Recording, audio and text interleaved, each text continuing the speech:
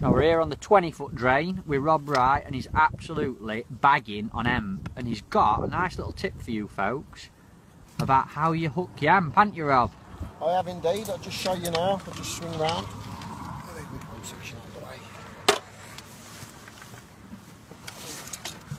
Basically, all it involves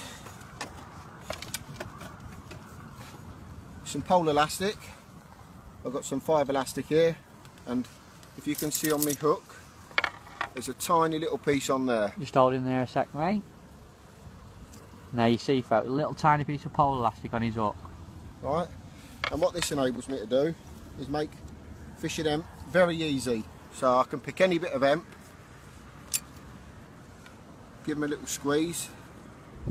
So open the uh, open the split and I'll slip my elastic in and that's it. So you actually As easy as that. So you actually put the elastic Into inside the split and then pull it up just so it wedges into the hemp.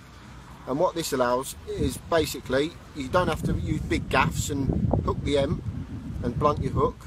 And when you hook a fish, it's really free moving, so it doesn't hamper the hook at all. So you always get a good hook hold and less bump fish, and it's quick.